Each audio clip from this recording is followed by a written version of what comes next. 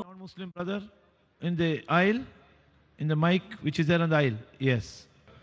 எனது பெயர் அல்போன்ஸ் நான் கிறிஸ்துவ மதத்தைச் சார்ந்தவன் சென்னையிலிருந்து வருகிறேன் இந்து மத பெயர்களின் பின்னாடி நாயக்கர் என்ற பெயர் வருகின்றது தங்களின் ஐயா அவர்களின் ஜாக்கிர் நாயக் என்ற பின்னாடி நாயக் என்ற பெயர் இருக்கின்றது இதை இஸ்லாமிய எனது நண்பர்களிடம் கேள்வி கேட்பதற்கு எனக்கு தெரியாது நீங்களே கேட்டு அந்த பதிலை எங்களுக்கு சொல்லுங்கள் என்று சொல்கிறார்கள் இதற்கு விளக்கம் சொல்லவும்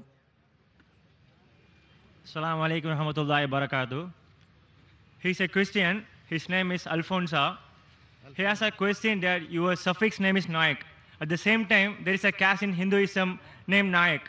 What does it mean? He has asked this to so many Muslim brothers where he doesn't find the answer. So he has come to you. Can you repeat that there is a thing in Hinduism, there's a cat? Ca- caste, caste, Caste. caste.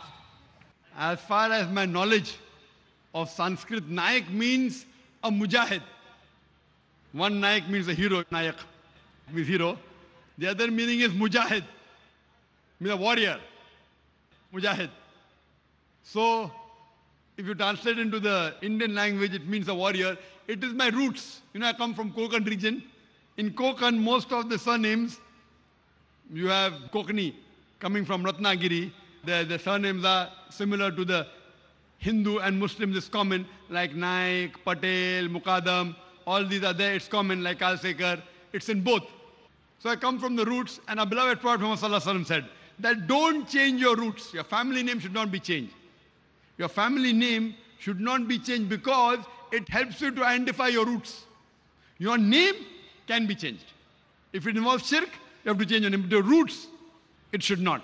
So Naik means a mujahid, means a hero, means a warrior in the Indian languages.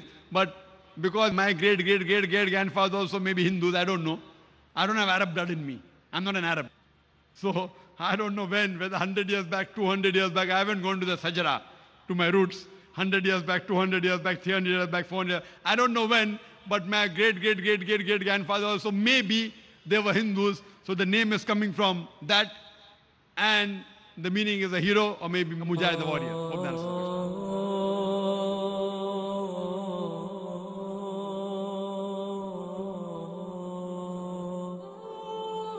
Oh